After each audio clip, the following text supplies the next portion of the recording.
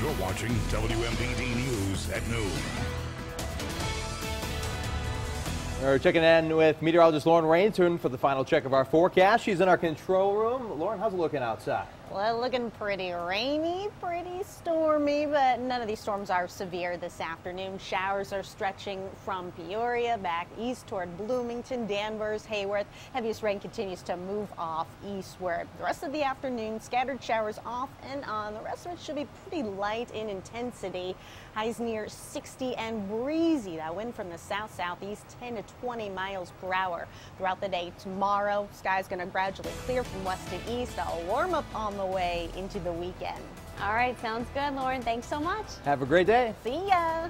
Follow WMBD News wherever you are on ciproud.com, Facebook, Twitter, or our mobile app.